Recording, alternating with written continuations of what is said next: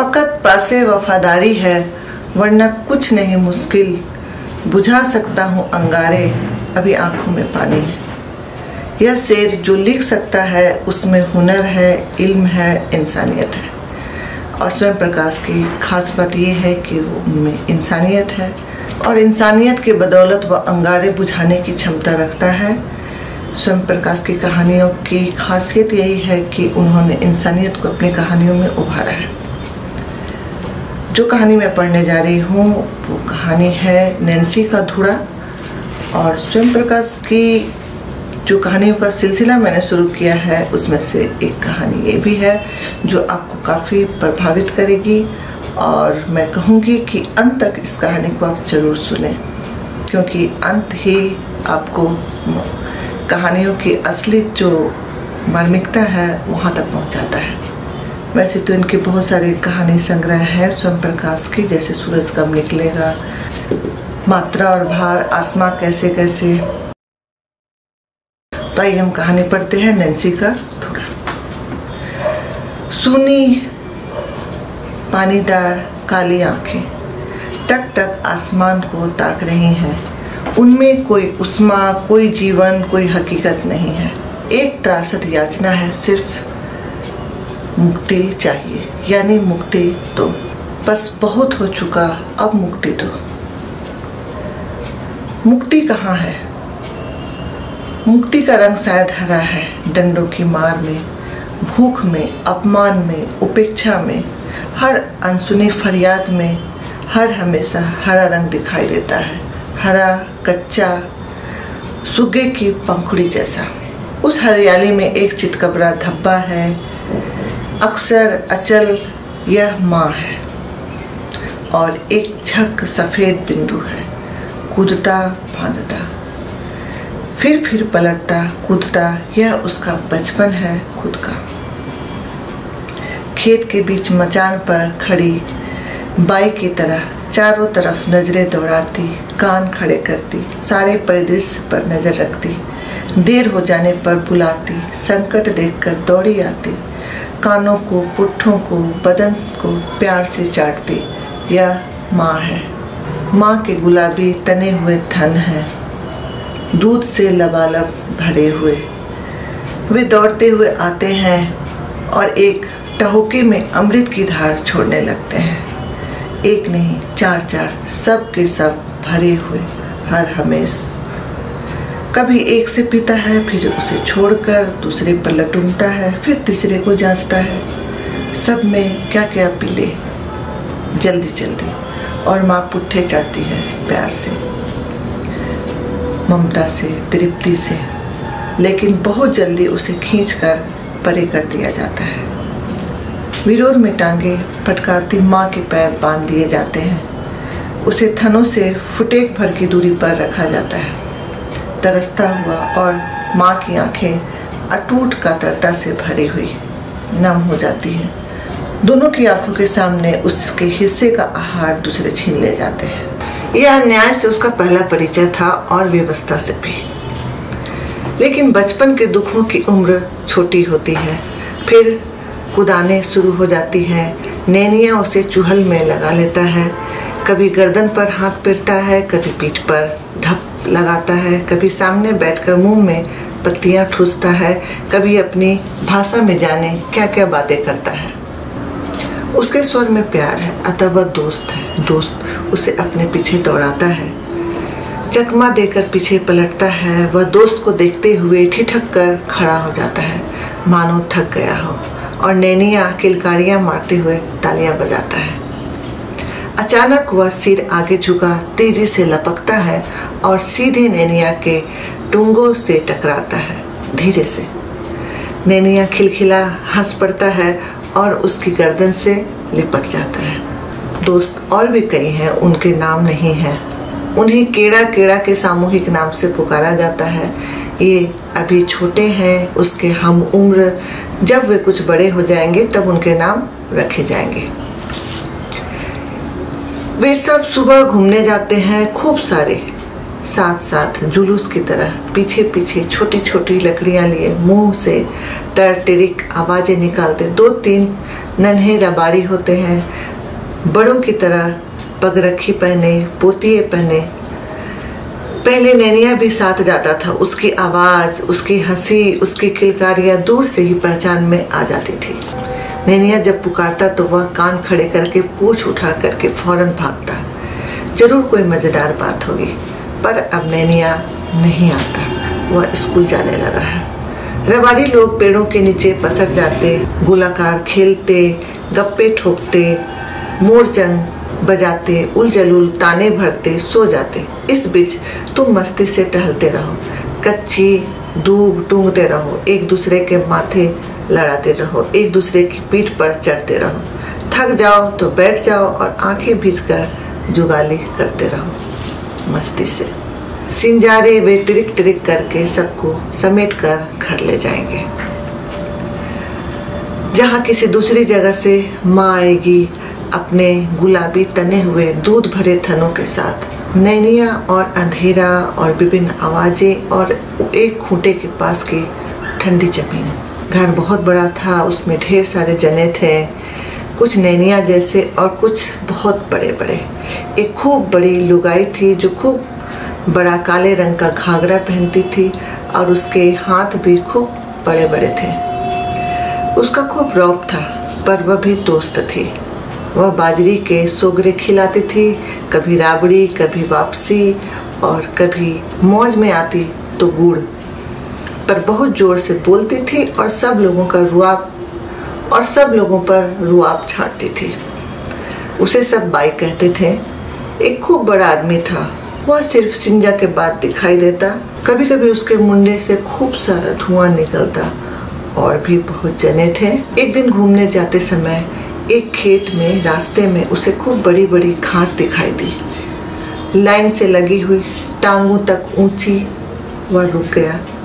टोले से अलग हो गया और खाने लगा। यह मीठी घास थी, खूब रसदार। उसने सोचा, वह रोज आकर रुक कर यहाँ पर घास खाएगा। लेकिन तभी एक रवारी दौड़ता हुआ आया और उसकी पीठ पर जमकर तीन चार छड़ी जमा दी। वह हड़बड़ा गया और भाग छूटा।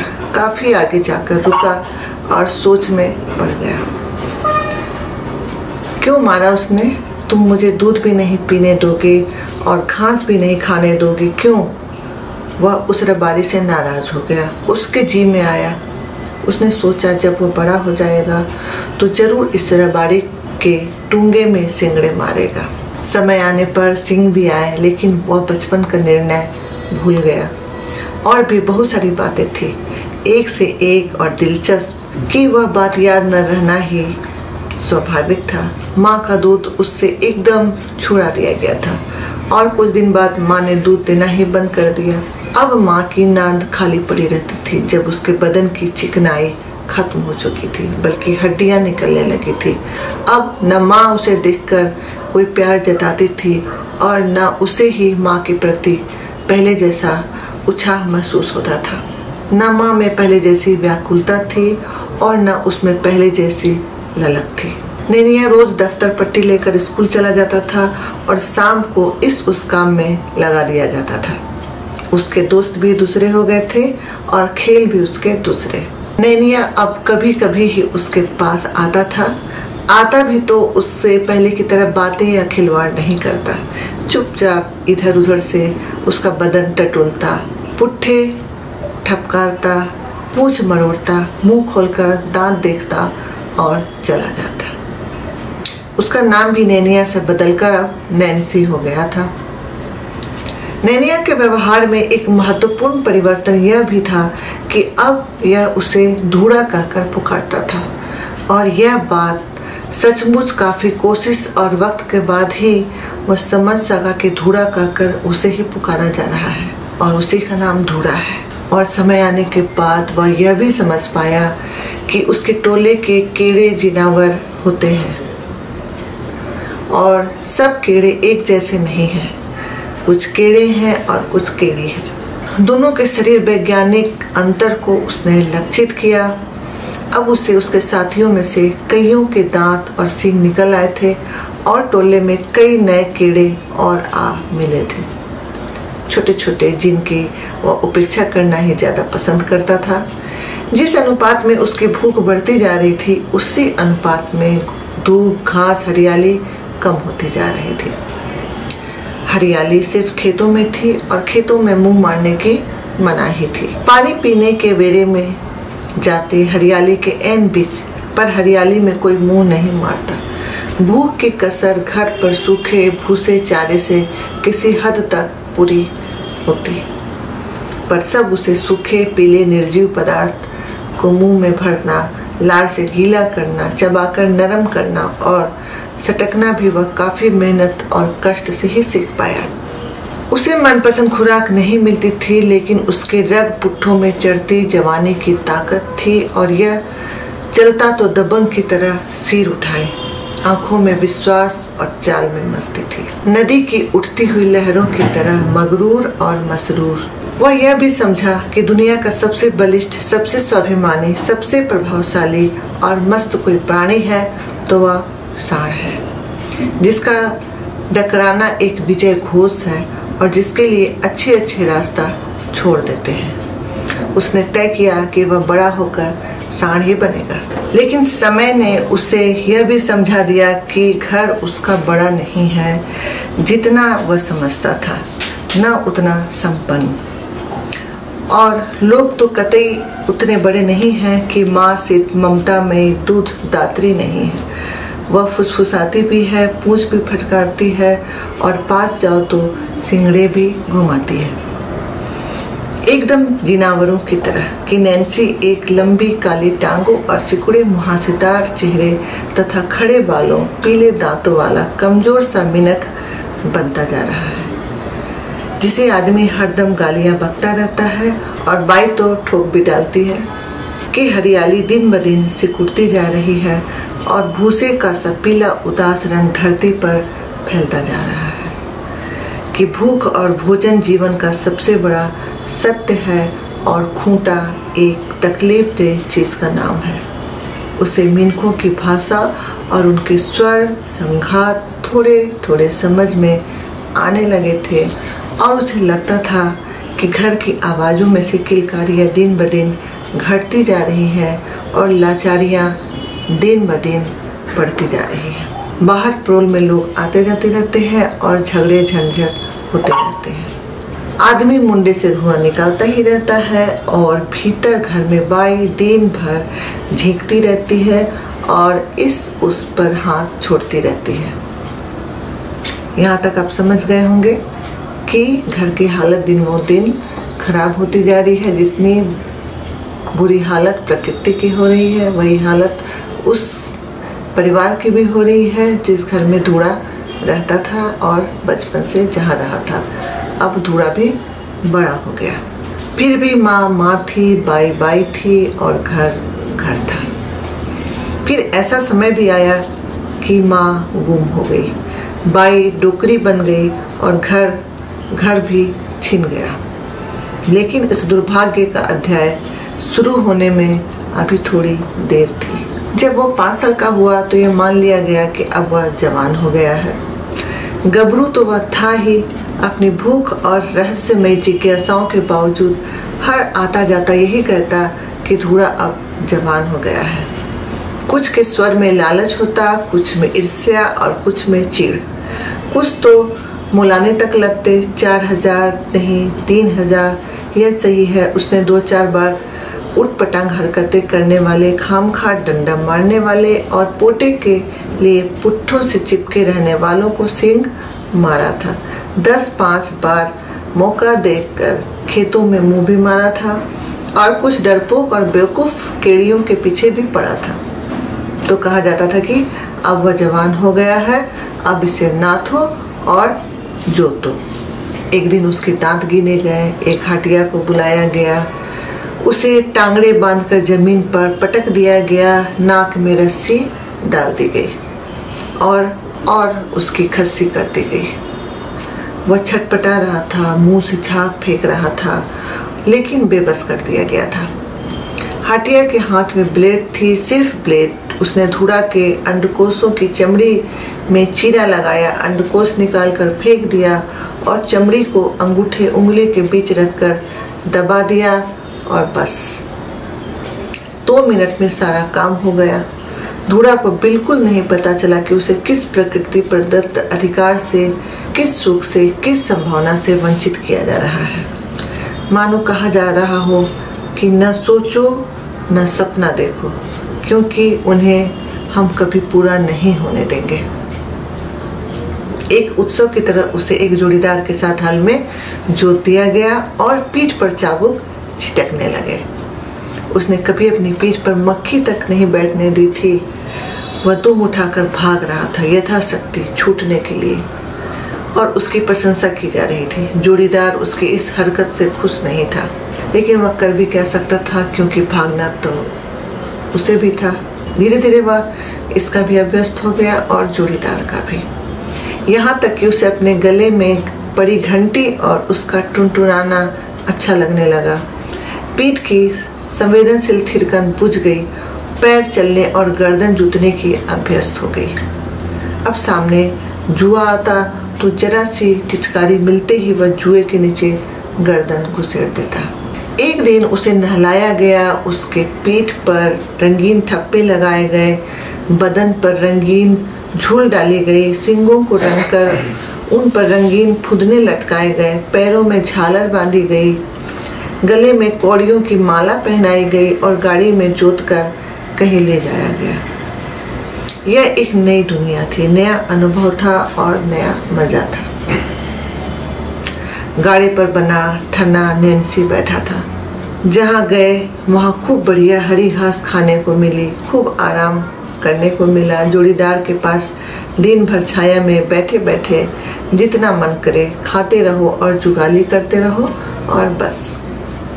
और तीसरे दिन एक गोरी छक ठसकेदार लुगाई को नैन्सी के साथ बैठाकर वे वापस आ गए। कुछ दिनों तक तो जैसे रूठी बहारें घर में वापस लौट आई। बाई, बुढ़ापे और बीमारी के बावजूद थिरकने और रुआबे मारने लगी। नैनिया लाड़ करने लगा, उसकी लुगाई कुछ न कुछ खाने को देने लगी। आदमी के मुंडे से धुआँ निकलना थोड़ा कम हो गया। पौ फटने से पहले उसका दिन शुरू हो जाता।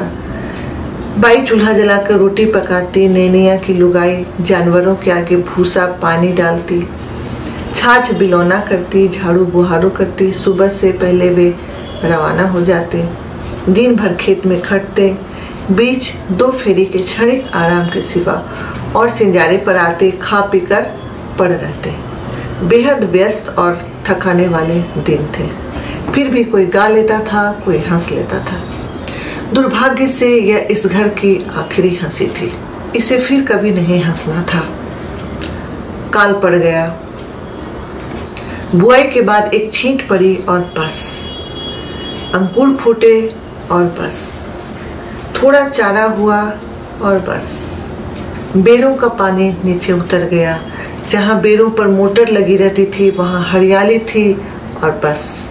अब भूसे की मात्रा कम होने लगी। मार डकराती रात में। कोई नहीं सुनता। झगड़े, झंझट फिर चालू हो गए थे। अब उसका कहीं कोई काम नहीं था। उसे खिलाना घर वालों को अब भारी पड़ रहा था। नैन्सी ने दूसरे के खेतों में काम करना शुरू कर दिया था, जहाँ बेरों पर मोटरें लगी रहती थी, जहाँ हरियाली थी, जहाँ अकाल केंद्र में नहीं, हाशिए पर था। फ़सल पकने पर आदमी के मुँह से निकलने वाला धुआँ और गाढ़ा हो गया। घर में खाने का टोटा पड़ गया था। वे लोग कर्ज में डूबे हुए थे, ज़मीन टुकड़े हुए जा रही थी। टुकड़े बोहरा की दाढ़ में सरकते जा रहे थे। घर के टुकड़े हुए जा रहे थे, ज़मीन के टुकड़े हुए जा रहे थे और टुकड़े बोहरा की दाढ़ में सरकते जा रहे थे। एक दिन आदमी ने किसी बात पर नैन्सी को ठोक दिया। बाई बीच बचाव करने गई। उसे भी दो हाथ पड़ गए। नैन्सी की लुगाई रोने लगी बाई भी। धूड़ा बड़ी बड़ी आश्चर्य से फटी फटी आँखों से सारा घटनाक्रम देख रहा था, चुपचाप। माँ भी, मानो झगड़े की जड़ में यही हो। मानो अभी ये भी पिट सकते हैं। उस रात नैन्सी ने उसे खूब लाड़ किया। गर्दन से लिपटा, पीठ पर हाथ फेरा। धूड़ा धूड़ा करता रहा। दूसरे दिन उसे, यानी धूड़ा को किराए पर दे दिया गया। भाड़े में जोतने के लिए। और सुबह सुबह आदमी उसे एक अजनबी मकान में छोड़ गया। जुतने में उसे कोई परेशानी नहीं थी। खेत के भूर भूरे ढगलों में या कच्ची नम ज़मीन में चलना उसे आता था। पर यहाँ दशा कुछ और थी। गाड़ी पर खूब सारा भार था। जोड़ीदार नया था, काला कलूटा और ठिंगना। एकदम सारा भार धूड़ा पर आ रहा था। और तीस पर हाँकने वाला ऐसा उल्लू जिसे चाबुक फटकारते रहने की जैसे बीमारी थी। बार बार लगाम खींचता बार बार चाबुक मारता। बिना वजह धूड़ा ज़ोर लगाकर आगे बढ़ता, जोड़ीदार की नानी मरने लगती। जबकि उसे पूरे रास्ते एक भी चाबुक नहीं पड़ा। ज़मीन पत्थर की तरह सख्त और काली थी। बड़े बड़े चढ़ाव, उतार और तीखे घूम एक चढ़ाव पर हाफने वाले ने चिल्लाते, गलियाते हुए धूड़ा की पीठ में डंडा घोंप दिया। धूड़ा गुस्से से विफर गया। वह ज़ोर से फुसकारा और उसने जुड़ीदार की कनपट्टी में सिंग मार दिया। गाड़ी हचक मचक हो गई। इस उपलक्ष्य में धूड़ा को और मार पड़ी। रात ढले पर लौटे, लेकिन यह घर अपना घर नहीं था। यह खूंटा वह खूंटा नहीं था, न माँ थी, न बाई, न नैनिया, न उसकी लुगाई। धूड़ा चुपचाप खड़ा हो गया। उसके आगे कोई भूसा डाल गया। उसने सूंघ कर उसे छोड़ दिया। पानी दिया दो चार घूंट पी लिया, सिर ऊँचा किए खड़ा रहा। उसके गर्दन पर गड्ढा पड़ गया था, दुख रहा था। पर क्या किया जा सकता था? सहानुभूति के, प्यार के दो बुल बुलने वाला भी वहाँ पर कोई नहीं। धूड़ा इनका आखिर लगता कौन है? धूड़ा मर भी जाए तो इनको क्या फ़र्क पड़ेगा? सब सो गए। वह खड़ा रहा। हर आहट पर उसके कान खड़े होते। आँखें चारों तरफ़ टप टप देखती रहती। लेकिन वह सोचता कि अभी कोई आएगा और उसे छुड़ा कर यहाँ से ले जाएगा। शायद नैनिया आ जाए, शायद बाई, लेकिन कोई नहीं आया। रात भर कोई नहीं आया। उसकी आँखों से आंसुओं की काली लकीरें निकलने लगी। नथुने फुफकार छोड़ते रहे। मन में ढेरों गुस्सा इकट्ठा होता रहा। सुबह जो सामने आएगा, उसकी खैर नहीं। यहाँ धूड़ा खटता रहा और पिसता रहा और घर के लिए तरसता रहा और गुस्सैल हो गया। मौका मिलते ही लोगों को वह अब सींग मारता। जहाँ मर्ज़ी आती, अड़ जाता। एक बार एक छोरे को उसने अपने सींग पर उठाकर पीछे फेंक दिया। तब से उसके पास कोई नहीं आता। हाँकने वाले की सेवा जो दोस्त नहीं है, अब भी धूड़ा को उसकी खुराक के हिसाब से खाने को नहीं दिया जाता। वह रास्ते चलते अंड बंड चीज़ों में मुँह घुसेड़ता रहता। उसके पुट्ठों का सारा मांस सूख गया है, चोट के निशान पक्के हो गए हैं। अब वह निसरड़ा और मार का अभ्यस्त हो गया है। एक बार उसे डाम भी चटाया जा चुका है। जिसको काम की कदर नहीं, उसके लिए क्यों खटो? खाम खा सताते रहने वाले के लिए कौन अपने हाड़ गलाएगा? इसका वास्ता या तो कभी अच्छे जिनावर से पड़ा ही नहीं होगा, या ये उस काबिल ही नहीं है कि कोई अच्छी तरह इसके साथ काम करे।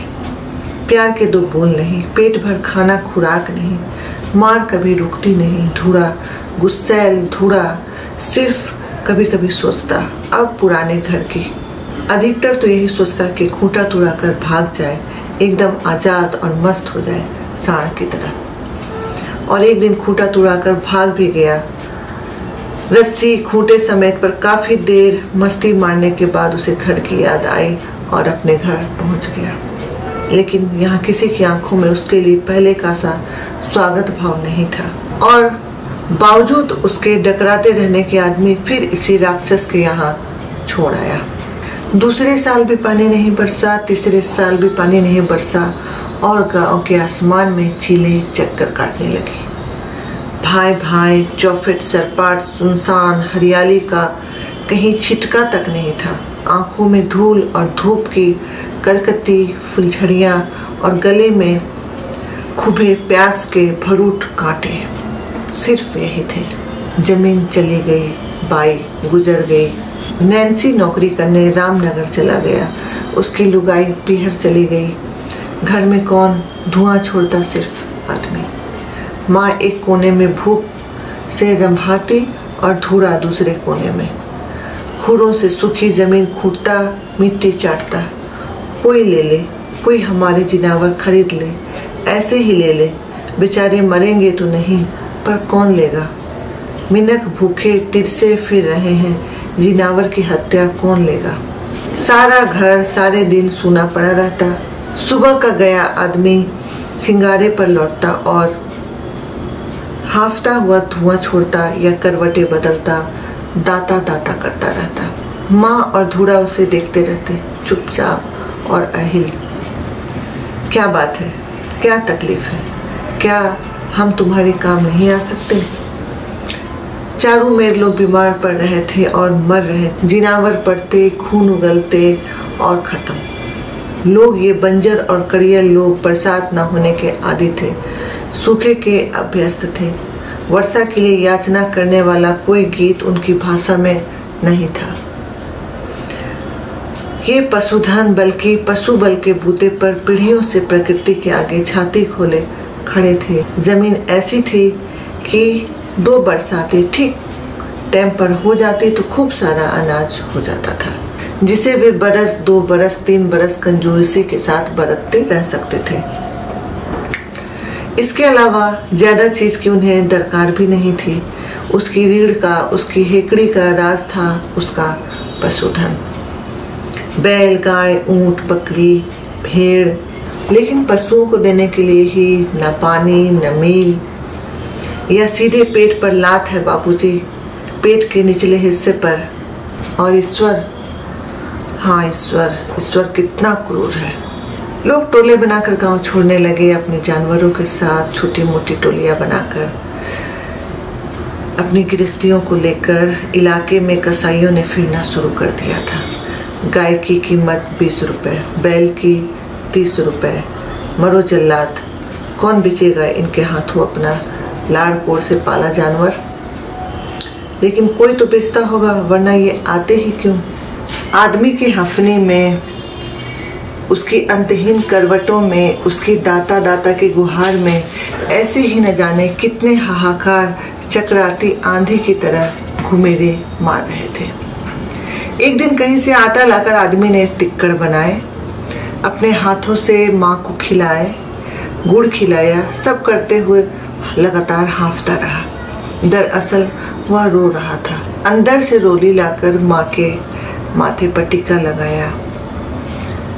उसके हाथ जोड़े और रस्सी खोलकर उसे बाहर निकाल दिया। प्रोल का दरवाज़ा खूट दिया और वहीं ज़मीन पर धप से बैठकर ज़ोर ज़ोर से विलाप करने लगा। माँ ज़ोर ज़ोर से रंभा रही थी। अनिष्ट की आशंका उठाकर उसे आतंक के फुतेले गहवरों में ढकेल दिया गया था। यक बयक एक कीड़ी के रूप में वह इस घर में आई थी। अपनी माँ के साथ चार बार वह ब्याई। वह इस परिवार की सदस्य थी, है, ज़िंदा, नहीं है क्या? कोई कहे तो? और कैसे निर्ममता के साथ उसे इस घर से हकाल दिया गया? उसकी करुणा और कातर बाँ बाँ न जाने कब तक बंद दरवाजे पर बिलकती रही। कौन सुनता? आदमी? आदमी पत्थर की तरह जड़ और निष्पन्द था। और एक दिन एक तेली धूड़ा को खरीद ले गया, सिर्फ़ पचास रुपए में। धूड़ा की आँखों पर पट्टी बाँध दी गई और उसे कोल्हू में जोत दिया गया। और चल भाई, ऐसी रात धूड़ा की ज़िंदगी में कभी नहीं आई, जिसमें कहीं कोई संग भी न दिखाई दे। एक ही गंध, एक ही मारक एक ही जुआ, रात, दिन। खाने को सूखा भूसा और थोड़ी सी खल्ली। पाँव के नीचे गीला पुआल। घाने के बाहर पानी की नांद। वही खाना, वही सोना। जो भी थोड़ा बहुत तेली सोने दे, पर तेली क्यों सोने दे? चला, फिर चला फिर चला और चक्कर आ गए। गिर पड़ा, मार पड़ी, फिर चला।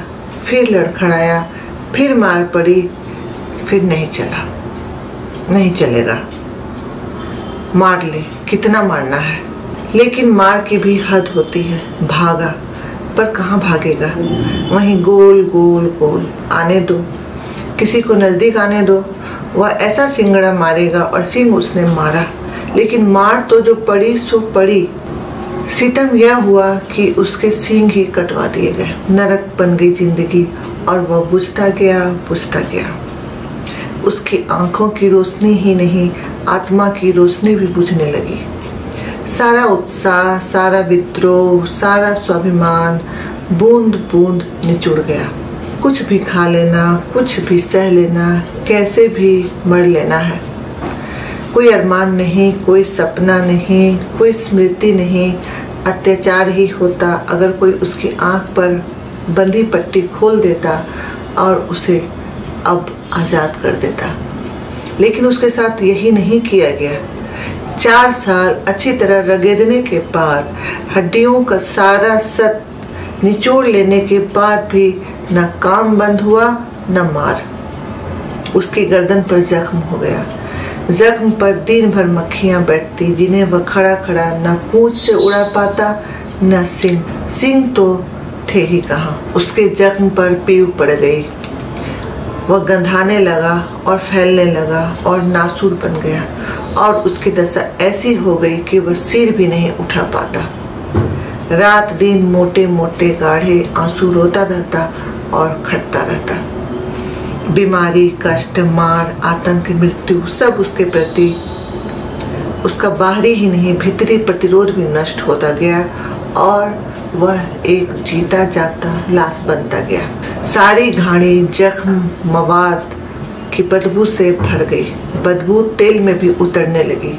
ग्राहक चिड़चिड़ाने, भटकने और कतराने लगे। लेकिन तेली, जो दिवाली के दिन भी बैल को नहीं बख्सता उसे रगेदता रहा रगेदता रहा। एक दिन घोड़ा ऐसा गिरा कि फिर उठ नहीं पाया। लाख कोशिशें की उठाने वालों ने। आखिर उसके आँखों की पट्टियाँ खोल दी गई।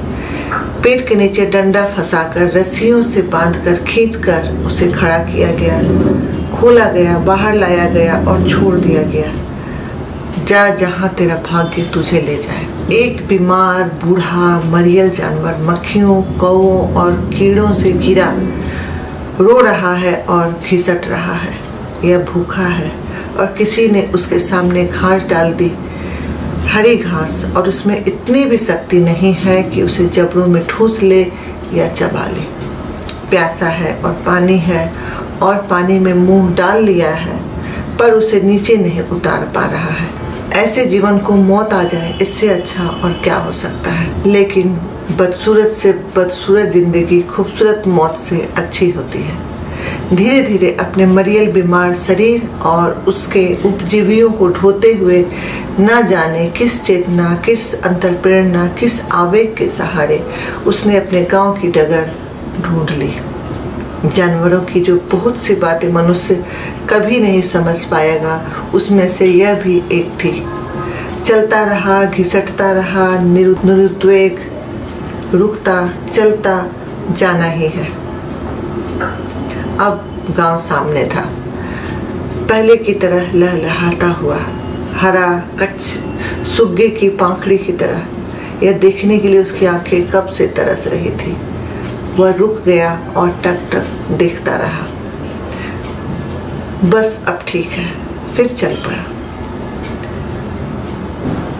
धीरे धीरे चाल में जरा भी उतावलापन नहीं था। आँखों से आँसू बह रहे थे, काली लकीरें आंसुओं की।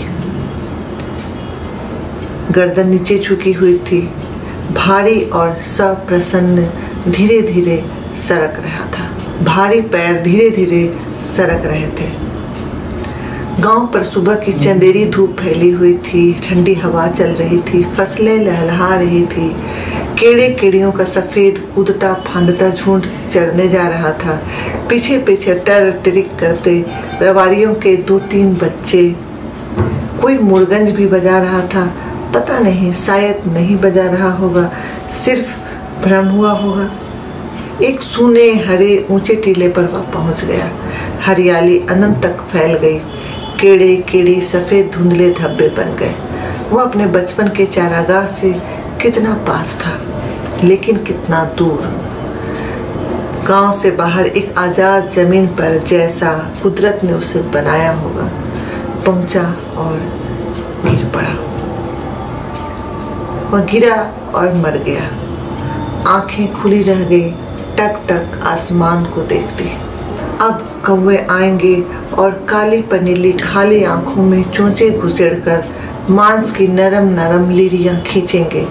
फिर गिद्ध आएँगे, डराने और मनहूस, और उनके लिए आँखों के नरम रेसे छोड़कर कौवे घोड़ों के नीचे से नरम मांस को नोचना शुरू करेंगे। चारों तरफ़ दुर्गंध फैल जाएगी, जिससे आकर्षित होकर फिर कुत्ते आएँगे और अपने पहने दांतों से उसका पेट चीत कर आते चबाएँगे फिर गिद्धों का एक पूरा झुंड होगा और वे इतना खा चुके होंगे कि उनसे उड़ा भी नहीं जाएगा और वे फिर फिर खाएँगे। चमड़ी गिरती, चिरती उतरती जाएगी, मांस बीतता जाएगा और पंजर झलकने लगेगा। हालाँकि अब भी उस पर जगह जगह गुलाबी सफ़ेद मांस चिपका होगा। फिर धीरे धीरे सिर्फ़ सफ़ेद पंजर रह जाएगा। और इससे पहले कि वह भुर भुराकर मिट्टी में मिल जाए, कोई उसे किसी के हाथ बेच देगा। और रामनगर की कच्ची बस्ती के बाहर एक ढेर पर एक लाश मिली है। हालाँकि जीते जी उसे किसी ने आदमी नहीं समझा हो, पर कहना तो यही पड़ेगा कि वह एक आदमी की लाश है। मरने वाले की उम्र कोई ज़्यादा नहीं, पर फोड़े फुंसियों और खूब मवाद से खूब मवाद ने चेहरे को एकदम विकृत कर दिया है। सुनते हैं कोई मजदूर था। कई बरस पहले चढ़ती जवानी में गाँव से आया था और रिक्शा चलाने लगा था। फिर ताला चाबी के कारखाने में लग गया। उन दिनों शहर में एक अभियान चल रहा था जिसके तहत निसंतान होने के बावजूद उसकी नसबंदी कर दी गई। फैक्ट्री के सेठ ने धीरे धीरे करके उसके सर पर काफ़ी कर्जा चढ़ा दिया। उसे एक तरह से बंधुआ मजदूर बना लिया और अब उससे चोरियाँ करवाने लगा था। एक बार इसने गाँव वापस भागने की कोशिश भी की थी, पर वह कामयाब नहीं हो पाया था और अब उसके हाड़ गोड़ कमज़ोर हो गए। एक दिन उसने चोरी करने से इनकार कर दिया। उस दिन उसे चोरी के इल्ज़ाम में पकड़वा दिया गया। थाना कचहरी जेल का चक्कर एक बार चला तो चला। नाम मुजरिमों में आ गया, वह करे या न करे, अब जब कहीं, जहाँ कहीं चोरी हो, उसे पकड़ लिया जाता। हार कर सचमुच चोरियाँ करने लगा और बार बार अंदर बाहर होता रहा। बार बार की इस आवाजाही ने उसे एक विचित्र बीमारी लगा दी। उसके सारे शरीर पर फोड़े और फुंसी हो गए और उनमें मवाद पड़ गया। उसने धीरे धीरे शराब पीना शुरू कर दिया और अब वह एक पक्का शराबी बन चुका था। हर जगह से दुत्कारा जाता, कुत्ते की तरह दुरदुराया जाता, सड़क पर पड़े रद्दी कागजों से अपने जख्मों की पीप पोछता रहता और मौका मिलते ही वह चोरी करता, शराब पीता, जी भरकर खाना खाता और कहीं भी औंधे मुँह वह पड़ जाता और आखिर में वह मर गया। लोग कह रहे हैं, उसका नाम धूड़ा था। लेकिन लेखक कह रहे हैं कि उसका नाम धूड़ा नहीं था। उसका नाम नैन सिंह था।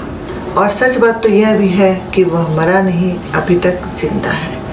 यानी इसी तरह के अत्याचार सत्य समाज में जो हालत पशुओं की है, उससे कम बुरी हालत इंसानों की नहीं है। वो भी उसी तरह दोहे जाते हैं और उनको इस्तेमाल किया जाता है। उनकी आखिरी सीमा तक और अंत उनका इसी तरह होता है। पीप मवाद से भरी हुई उनकी मृत्यु होती है। तो यह थी कहानी स्वयं प्रकाश की नैन्सी का थोड़ा मैं आपसे मिलती हूँ फिर अगले वीडियो में। मेरे चैनल को सब्सक्राइब नहीं किया है तो आप सब्सक्राइब कर दें और अपने दोस्तों के साथ मेरे इस वीडियो को ज़रूर शेयर करें। पूरा वीडियो देखने के लिए आपका तहे दिल से धन्यवाद।